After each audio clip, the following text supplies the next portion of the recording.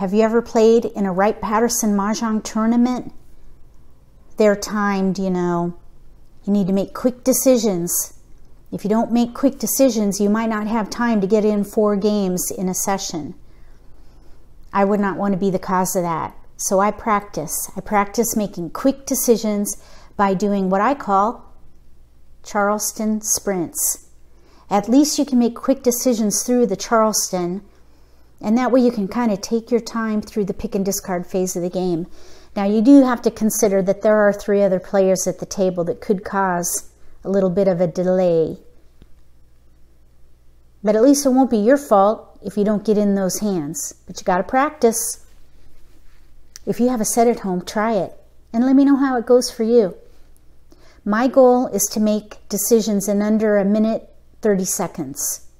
I think for advanced players, for Wright Patterson Mahjong, that's a good guideline. If you're an intermediate player, try to make decisions in under two minutes, and then if you're a beginner, under three. If those are uh, diff too difficult, just make guidelines for yourself, whatever you think is good, but push yourself. That's the whole goal. Push yourself to make quick decisions.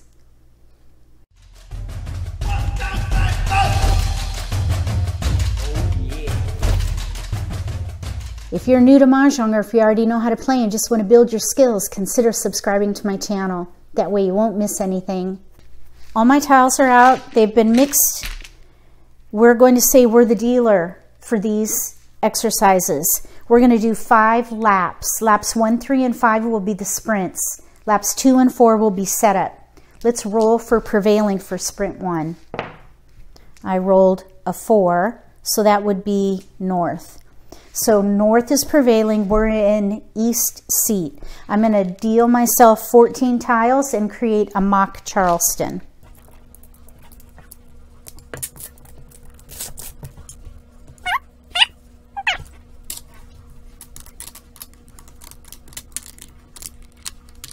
Look at all those honors, including a pair. I'm thinking either Betty or Hands of Honors. Let's discard these three. There's a white dragon. We have a 5-2. Let's see. Oh, shoot. I'm taking too much time. I think a Hands of Honors with all those. I don't want to pass that. Okay, I think we should split that up. Let's play Hands of Honors. South. Nine. Uh-oh, we're going to have to pass like numbers. That's terrible. But we're playing a big hand. Lap. North. Keep it. So we have three discards, another like numbers here. So I think hands of honors here. We have, let's look, look at that. All the dragons and a pung. I wonder if we could have played a date hand with all those dragons. That's okay. We got, we have uh, hands of honors here. I almost said we got stuck with hands of honors, but hey, I would love to be stuck with hands of honors. Those are almost all of them are double limit hands, so that's not a bad thing. Okay, so we have news and dragons. What about dragon snooze? Number 72 on page 26. Pungs of each dragon with news and one when paired. We've got news. We would need to pair up the dragons, of course, and then pung. That is very nice. We could also potentially play trade winds, number 70 four pungs of Winds and Dragons and a pair of terminals. We only have one multiple here though, this pung. I think probably maybe Dragon Gale, number 74. Same page. Four pungs and a pair of Winds and Dragons, any combination. I think we have several that we could work through. I think it would be really fun to play Dragon snooze. We've got news. Okay, let's do the next one. If you would have done something differently with these, write sprint one and what you would have done. Maybe Betty would have been good. I don't know. but I like going for big hands. I like big hands and I cannot lie.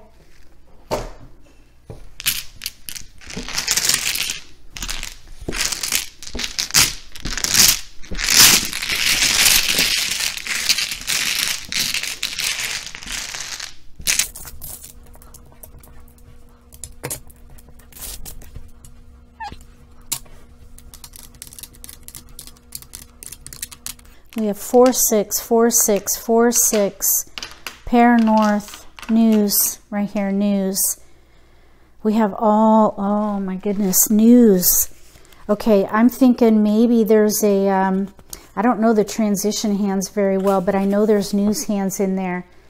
News, pungy news, three different numbers punged in mixed suits. Three different numbers punged in mixed suits. We have a six, three, four, Oh, we don't have the right band. Three different numbers punged in the same suit.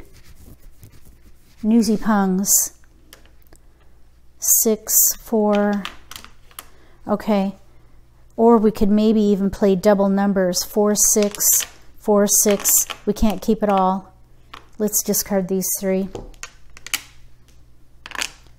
There's a six, five, eight, six, six. I'm thinking maybe four, six, four, six.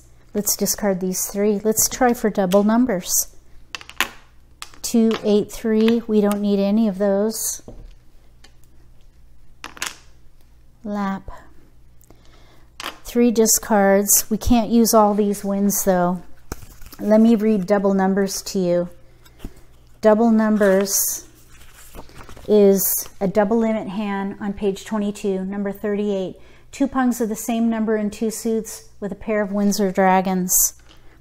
Oh, six discards. That's terrible. But we can pung, pung, pung. Oh, no, no, we need a pair. Pung, pung, pair up. Let's see, the other option, let's just look again at that um, transition hand. Where did that go? Three different numbers, three different numbers. One suit or mixed suit with news. See, we'd have to give up a pair, four, two, or three.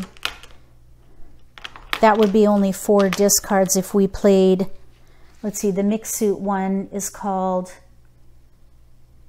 Newsy Pungs. I think we're probably closer to Newsy Pungs than we are double numbers.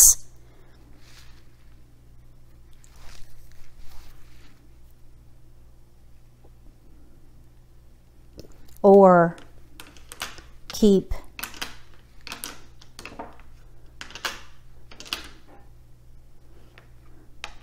five. Nope. Okay, so I think this is better. Newsy pungs. I think I would just keep all of these. The nine we wouldn't need probably. We've got sixes. We don't need those or those. Really, it's this BAM that's the problem. I think I would just keep all these and just pick and discard until we pair up. Okay, so that was the original. Newsy, let's see, Newsy Pungs, number 19 on page 19. No, that's not right. Yeah, it is right. Huh? Number 19 on page 19. Okay, so I know I vacillated a little bit. This was the hand I picked. All right, let's go on to the third sprint.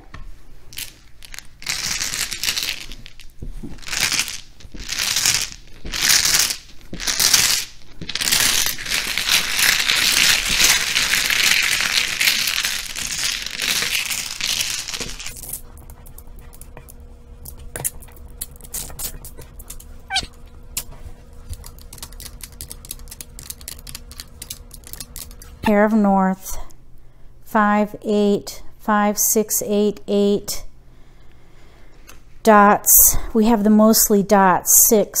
I think I would give up the one. I'm considering a number hand again, 5, 6, or 5, 8. 5, 6, or 5, 8. Let's give up, oh, the 7. We can recover one dot, maybe. There's a 6. 5, 6, 5, 6. We can give up the 1, the 3, and the 8. Double numbers, in which case we don't need that. Oh, goodness sake, look at that. That's terrible. Let's give up the 1. 5, 6, 5, 6, 1, 1, 2, 8.